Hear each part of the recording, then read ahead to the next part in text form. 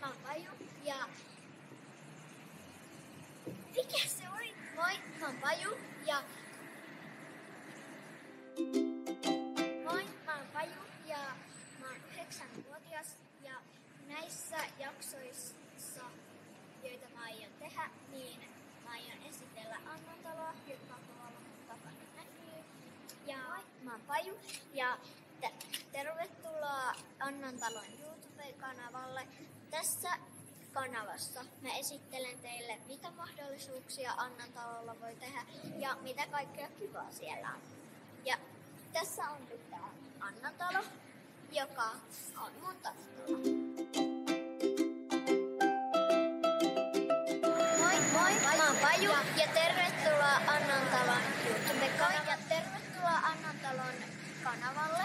Tällä kanavalla on tarkoitus esitellä teille kaikille tätä Annantaloa, joka mun taustalla on. Ja esitellä, miten sinne pääsee, esimerkiksi pyörätuolilla, joka mulla on. Ja miten mahdollisuuksia siellä on.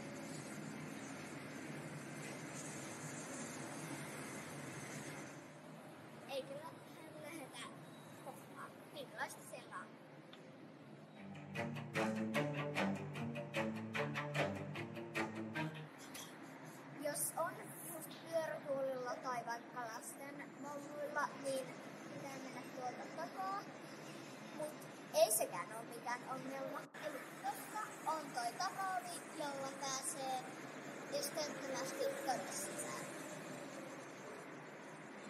Tässä on nämä lastenrattaiden parkki, jonne voi panna rattaat, jos on vaikka joku pienempi lapsi.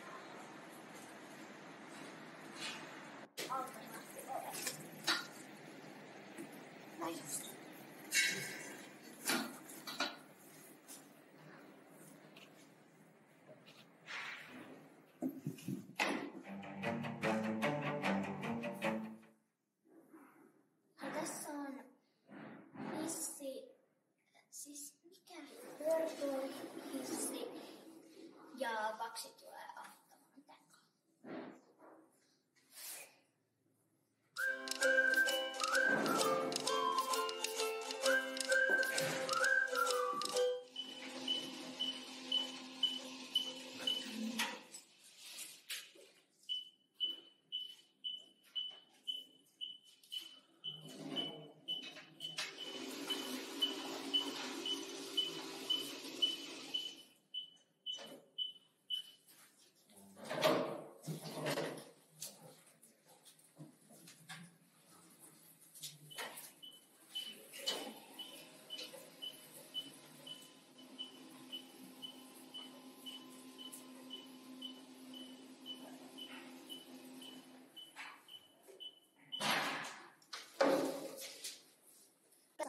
Tässä